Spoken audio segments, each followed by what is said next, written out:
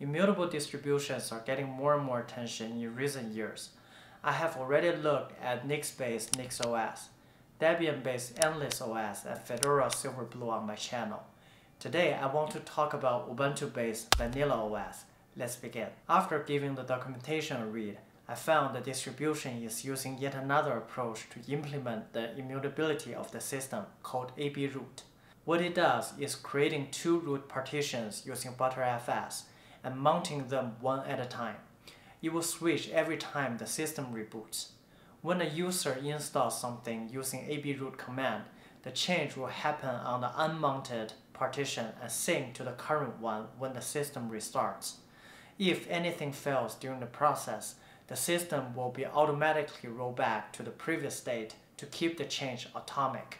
However, I found with this design, the system will only maintain two states, current and future at any given moment, meaning there is no way to roll back the system several steps into the history. Well, it's not like I will use Vanilla OS long enough to do any of that. I will hop onto another distribution for the new video in a couple of days, so let's just start the installation. It is a two-phase installation process. The first one is using the live CD. Like most of the other distributions, the user needs to specify the disk, set up time zone, keyboard, and account. Nothing special. The second phase is the initial setup after the first time boot up. I love this bit because it contains a lot of things I have to do myself on other distributions, like update the distro, NVIDIA driver, and media codecs. I can also see it automatically set up the FlatHub behind the scenes, which made me started to like this distribution even before using it. Let it be known that NVIDIA driver here will not install the X settings for you, but the driver is working properly. I made sure of that by using NVENC codecs on OBS recording my desktop. Then I started some customizations on the desktop. I never understood why GNOME hides the maximize and minimize button in the first place. I always need to enable them after installing the pure GNOME desktop environment. The issue with Vanilla OS is that it is an immutable distribution which encourages users to use Flatpak. I can see most of the applications on Software Center are from FlatHub, and GNOME Tweaks applications is not available there, which led me to start trying out APX the package manager developed for Vanilla OS. The command itself is quite easy to use. It feels like the apt commands with a different name, but under the hood, you will install all the applications inside containers just like Fedora Toolbox. And judging from the error message here, it is using Podman underneath. I was able to fix it by following the Podman GitHub issue page after removing the cache storage. Then I added the two window buttons using GNOME Tweaks application. I also installed Emacs this way. I'm happy to see the installed applications are automatically added as desktop icon inside the application menu. Next, I see the APX command also support AUR, DNF, and APK flags. I was eager to try it out as this will make the distribution very attractive to me with the stability of the immutable system plus the exposure to the sheer number of applications available on Arch's AUR will make this distribution a unicorn to me. I started by installing the brave-bin browser from AUR. It first gave me an error saying Git was not found. I installed Git using the original APX command without any luck and figure out that is because the AUR applications are managed in a separate Arch-based container, which makes perfect sense. So I used the AUR flag to install Git and found out not only APX can install from AUR, it can also fetch packages from Arch community repository, and Git was installed from there, which blew my mind again. After passing the Git issue, I saw another issue saying fake root binary was not found and that is the issue of AUR missing base development packages.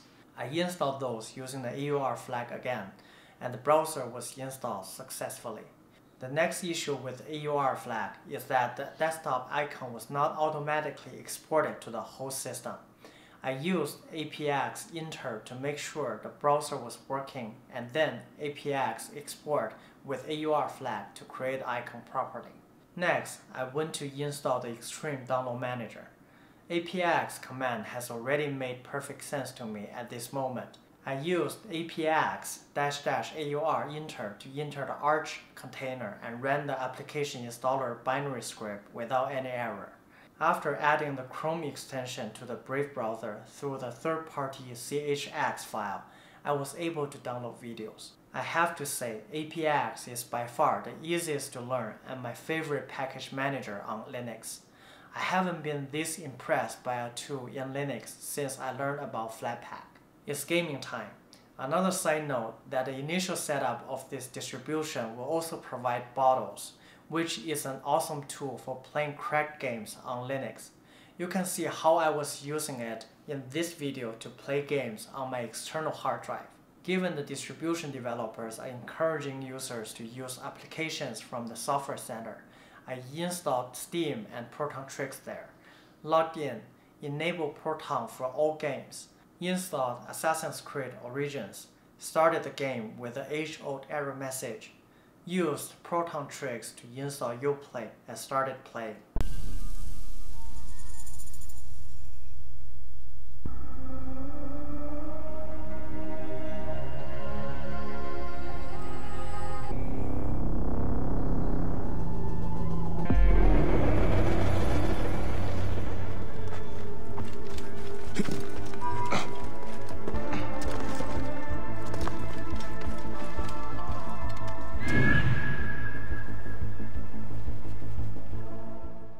Realized this game is super straightforward to set up as long as the distribution is not customized as a gaming distribution. It needed a different approach on Nobara and not playable on Regata for me. I was not having high hope before using Vanilla OS, given it is not the most popular immutable system people talk about all the time. And on the surface, it looks like a simple Ubuntu Linux with a pure GNOME desktop environment. But after trying out APX command, it has become my favorite immutable system now. Although it only maintains two stages at any given moment, it still gave me the secure feelings like any other immutable system that it won't break easily by updates. And it also impressed me with the extensiveness to use applications from Ubuntu, Fedora, Arch, and even Alpine or Alpine Linux with a cherry on the top that the FlatHub and app image are automatically set up. I would recommend anyone who loves these ideas to try it out. I have the confidence to say you wouldn't be disappointed. And that is all for this video. Thank you for watching. I'll see you in the next one. Bye.